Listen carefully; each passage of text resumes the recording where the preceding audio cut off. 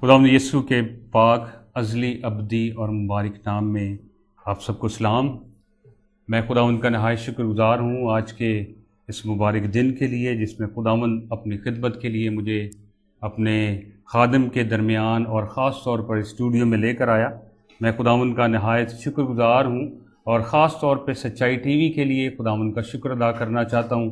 جس کے وسیلہ سے خداون کا نام بکثرت ملک پاکستان میں اور نہ صرف ملک پاکستان میں بلکہ دنیا بھر میں خداون کے نام اور جلال کے لیے پھیل رہا ہے۔ میں خداون کا شکر ادا کرنا چاہتا ہوں پاسٹر عارف کے لیے، جنہیں خدا نے یہ بوجھ دیا اور وہ اس بوجھ کو خداون کی مرضی کے مطابق لے کر چل رہے ہیں۔ اور اسی طرح سے خداون کی ساری خدمت کو، خدا کے کلام کو لوگوں کے درمیان لے کر جا رہے اور پہنچا رہے ہیں۔ میں خداون کا نہایت شکر گزار ہوں کہ آج ہم اس لیے بھی خدا کے کلام مقدس کے مطابق جمع ہوئے ہیں تاکہ ہم خدا مند یسو کے جی اٹھنے کی خوشخبری کو جی اٹھنے کے اس موقع پر خدا کی مرضی کے مطابق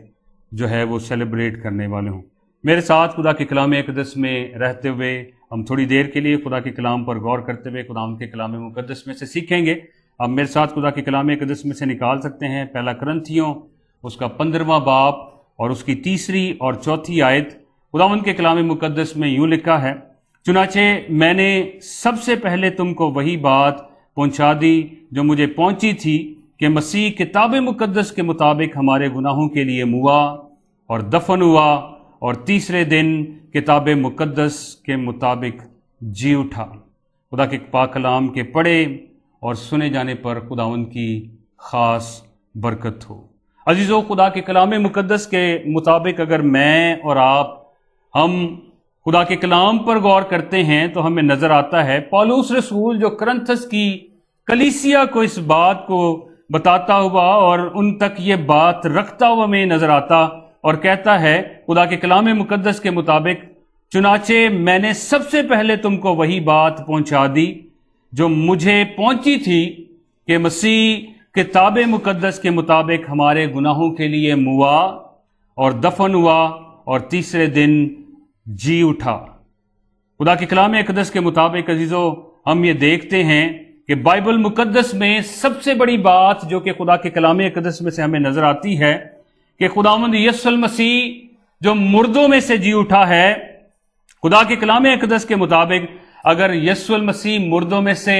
نہ جی اٹھتے تو عزیزو، آج میرے لیے اور آپ کے لیے ہمارا کلام سنانے کا مقصد جو ہے اور پھر خدا کے کلام اقدس کے مطابق ہم دیکھیں تو شاید ہمارا حقیقت میں جو سچائی ہے وہ بھی خدا کے کلام اقدس کے مطابق قائم نہ رہتی۔ لیکن میرے اور آپ کے منجی خدا یس المسیح نے اپنی زندگی ہی میں اپنے دشمنوں سے یہ بات ان کے آنکھوں میں آنکھیں ڈال کر خدا یس المسیح نے کہا تھا یہنا کی انجیل، اس کا دوسرا باپ اور اس کی انیسویں آیت میں اگر ہم دیکھیں تو خدا کے کلام اقدس میں یسو المسیح نے کہا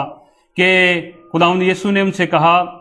اس مقدس کو ڈھا دو تو میں اسے تین دن میں کھڑا کر دوں گا۔ خدا کے کلام اقدس کے مطابق وہ لوگ خدا یسو کی اس بات سے پریشان تھے، لیکن وہ اس بات سے حقیقی طور پر واقف تھے کہ خدا یسو المسیح جو ہے وہ اس ہیکل کی بات نہیں کر رہا۔ بلکہ خداوند یس المسیح جو ہیں وہ اپنے بدن کی بات کر رہے ہیں۔ اور خدا کے کلام مقدس کے مطابق عزیز و ہمیں نظر آتا ہے، حالانکہ جو لوگ تھے، جو یہودی تھے، جو وہاں پر موجود تھے، وہ یہ کہہ رہے تھے کہ یہ اتنی بڑی ہیکل جو ہے، جسے تقریباً چھیالیس برس جو ہے وہ بنانے میں لگے۔ تو کس طرح ممکن ہے کہ یہ شخص، خدا کے کلام مقدس کے مطابق یہ شخص کھڑا ہو کر یہ کہہ رہا ہے کہ اگر اس ہیکل کو ڈادو گے تو میں اسے تین دنوں میں اٹھا کھڑا کروں گا۔ لیکن خدا کے کلام اقدس کے مطابق جو اس کے دشمن تھے، جن تک یہ پیغام پہنچنا تھا، عزیزوں، وہ حقیقت میں اس بات کو جان گئے تھے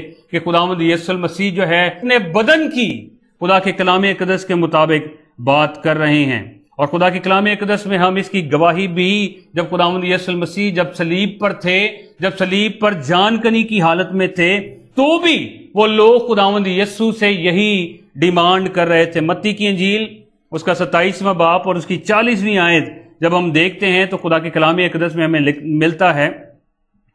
کہ اے جو دشمن ہیں اس سے کہہ رہے ہیں، اے مقدس کے ڈھانے والے اور تین دن میں بنانے والے اپنے تائیں بچا، اگر تو خدا کا بیٹا ہے، تو سلیب پر سے اتر آ۔ خدا کے کلام اقدس کے مطابق عزیزو، میں اور آپ ہم جانتے ہیں کہ یہ وہی لوگ ہیں جو جانتے ہیں کہ خدا مند یس المسیح جو اپنے کال و فیل میں خدا کے کلام مقدس کے مطابق سچا ہے، جس طرح وہ کہتا ہے، ویسے ہی خدا کے کلام مقدس کے مطابق وہ کرتا ہے۔ اگر اس نے اپنے زبان مبارک سے کسی کے لیے کہا کہ جا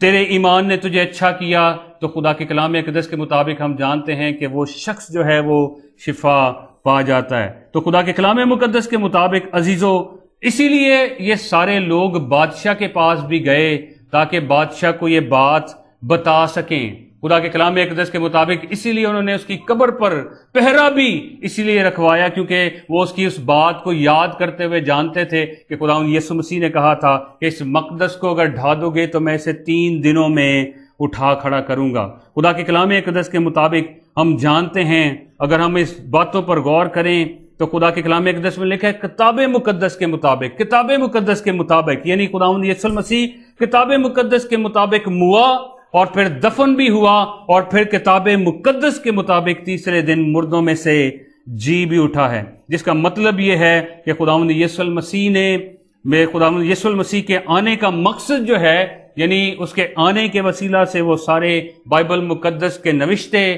وہ سارے پیشن گوئیاں جو خدا کے کلام اقدس میں پہلے سے مرکوم تھی وہ خدا یسو مسیح کے جی اٹھنے کے وسیلہ سے پوری ہوئی ہیں۔ اسی طرح سے خدا کے کلام اقدس کے مطابق خداوند یسو مسیح کا اس دنیا میں آنا، خدا کے کلام اقدس کے مطابق باپ کی مرضی کو حقیقت میں پورا کرنا تھا۔ ابدی نجات بخشنا تھا اور ہمیشہ کی زندگی عزیزو اپنے لوگوں کے لیے لے کر آنا اور اس کا وارث اپنے لوگوں کو بنانا تھا۔ اور پھر وہ رشتہ جو کہ خدا کے کلام اقدس کے مطابق ابتدا ہی سے خدا کے کلام مقدس میں ہمیں نظر آتا ہے کہ پہلے آدم کے وسیلہ سے ٹوٹا، خدا کے کلام مقدس کے مطابق یسو المسیح نے اپنی جان دے کر سلیب پر اپنی جان دے کر اور پھر مردوں میں سے عزیز و زندہ ہو کر اس بات کو ہماری زندگی میں برابر کیا ہے تاکہ ہم اپنے ایمان خدا کے کلام مقدس کے مطابق زندہ کر سکیں۔ آج بھی ہم دیکھتے ہیں کہ بہت سارے لوگ مردہ ایمان کے ہیں۔ اگر میرا اور آپ کا مسیحا زندہ نہ ہوتا۔ تو عزیزو، خدا کے کلام مقدس کے مطابق میں اور آپ آج اس طور پر اس بہادری سے، دلیری سے آج خداون کے کلام کو نہ پہنچا رہے ہوتے۔ پہلا کرنتھیوں پندرواں باپ اور اس کی چودھویں اور پندرہویں آیت میں اگر ہم دیکھیں تو خدا کے کلام قدس میں ہمیں ملتا ہے، اور اگر مسیح نہیں جی اٹھا تو ہماری منادی بھی بے فائدہ ہے۔ اور تمہارا ایمان بھی بے فائدہ۔ اگر خدا مند یس المسیح اپنے وعدوں میں خدا کے کلام اقدس کے مطابق جی نہ اٹھتا، تو عزیزو، آج نہ میں ایمان لے کر آتا اور نہ آپ ایمان لے کر آتے۔ خدا کے کلام اقدس کے مطابق یہ بائبل کی روح ہے جو کہ بائبل مقدس کو زندہ کرتی ہے۔ خدا یس المسیح کے زندہ ہونے کے وسیلہ سے عزیزو، ہمارا ایمان اور بڑھ جاتا ہے۔ خدا کے کلام اقدس کے مطابق ہم جانتے ہیں، یہ وہی ہے جس کے بارے میں خدا کا بندہ یہنا کہتا ہے کہ دیکھو، یہ خدا کا وہ برہ ہے جو دنیا کا گناہ اٹھا لے جاتا ہے۔ یہنا پہلا باپ اور اس کی انتیسویں آیت میں خدا کے کلام اقدس میں یہ مرکوم ہے۔ تو پرانے حید نامے کو اگر ہم غور سے دیکھیں تو ہمیں نظر آتا ہے کہ پرانے حید نامے میں جو قربانیوں کا ایک سلسلہ جو کہ بائبل مقدس میں ہمیں نظر آتا ہے تو خدا کے کلام اقدس کے مطابق یہ وہ سلسلہ ہے جو ایک بڑی قربانی کی طرف نشاندہی کر رہا تھا۔ یعنی یہ جتنی بھی قربانیاں ہیں، جتنا بھی خون بہانا ہے، وہ اس بڑی قربانی کی طرف جو میرے اور آپ کے منجی خدا مند یس المسیح کی ہے، اس کی طرف نشاندہی کر رہی تھی کہ اس کی قربانی کے بعد اب کوئی اور دوسری قربانی کی ضرورت نہیں ہے۔ اس لیے خدا کے کلام اقدس کے مطابق عزیزو، میں اور آپ جانتے ہیں کہ میرا اور آپ کا منجی خدا یس المسیح وہ اپنے وعدے کے مطابق عزیز و مردوں میں سے جی اٹھا ہے۔ وہ جس نے اپنی زبان مبارک سے کہا، خدا کے کلام اقدس کے مطابق کہ اگر تم اس مقدس کو ڈھا دو، تو میں اسے تین دنوں میں اٹھا کھڑا کروں گا۔ پہلا کرنتھی اس کا پندرواں باپ اور اس کی چون اور پچپن آیت اگر ہم دیکھیں تو خدا کے کلام اقدس میں بڑی خوبصورت الفاظ جو کہ خدا کے کلام اقدس کے مطابق خداون یس المسیح کی زبان مبارک کے مطابق ہیں، جہاں خداون کے کلام اقدس میں لکھا ہے، موت فتح کا لکمہ ہو گئی۔ اور پھر بڑے زبردست بات لکھی ہے، موت تیری فتح کہاں رہی؟ اے موت، تیرا ڈنگ کہاں رہا؟ خدا کے کلام اقدس کے مطابق ہم جانتے ہیں کہ میرے اور آپ کے منجی خداوند یس المسیح نے نہ صرف موت پر فتح پائی بلکہ قبر پر بھی فتح پا کر عزیزو وہ مردوں میں سے جی اٹھا ہے۔ آج خدا کے کلام مقدس کے مطابق ہمیں اپنی اپنی زندگیوں پر غور کرتے ہوئے اس بڑے جی اٹھنے کے مقصد کو اپنی زندگی میں جاننے کی ضرورت ہے۔ وہ کیوں جی اٹھا ہے؟ کیوں میری اور آپ کی خاطر ان وعدوں کو پورا کرنے کے لیے اور پھر ساری ان پیشن گوئیوں کو، ان نوشتوں کو جو کہ خدا کے کلام اقدس کے مطابق ہے انہیں پورا کرنے کے لیے وہ جی اٹھا ہے۔ خدا کے کلام اقدس کے مطابق آخری حوالہ میں آپ کے درمیان خدا کے کلام مقدس میں سے رکھنا چاہتا ہوں۔ دوسرا کرنتھیوں، اس کا پانچواں باپ اور اس کی پندرہویں آیت جب ہم دیکھیں تو خدا کے کلام اقدس میں لکھا ہے، اور وہ اس لیے سب کے واسطے موا کہ جو جیتے ہیں وہ آگے کو اپنے لیے نہ جیئیں، بلکہ اس کے لیے جو اس کے، ان کے واسطے موا اور پھر جی اٹھا ہے۔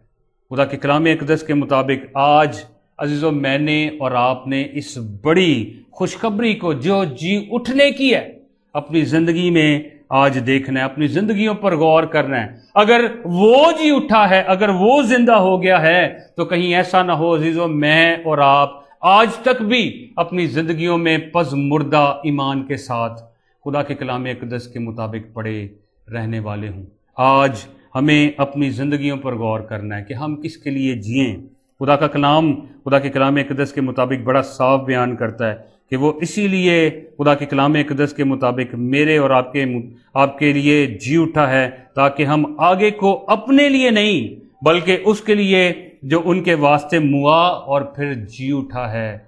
آج اپنی زندگیوں پر غور کرتے ہوئے دیکھ سکتے ہیں کہ ہم کیسی زندگی بسر کر رہے ہیں۔ کیا اس مسیحا کے لیے جس نے جان کی بازی بھی عزیز و میری اور آپ کی خاطر دے دی، جس نے اپنی، جس نے کفارے کے طور پر اپنی جان بھی عزیز و میری اور آپ کی خاطر دے دی، جو اپنے وعدوں کے مطابق آج جی اٹھا ہے۔ عزیز و میں اور آپ اپنی زندگیوں پر غور کرنے والے ہیں۔ کیا میں اور آپ اس بڑی خوشخبری کو اپنی زندگی میں پاتے ہوئے، اپنی زندگیوں کو خدا کے کلام مقدس کے مطابق لے کر چلا رہے ہیں۔ آج میری اور آپ کی زندگی کیسی ہے؟ کہیں ایسا تو نہیں ہے کہ میری اور آپ کی زندگی خدا مند یس المسیح تو جی اٹھا ہے، لیکن آج بھی میں اور آپ مردہ پڑے ہوئے ہیں۔ آج بھی اس کا کلام، خدا کے کلام اقدس کے مطابق میری اور آپ کی زندگی میں اثر پذیر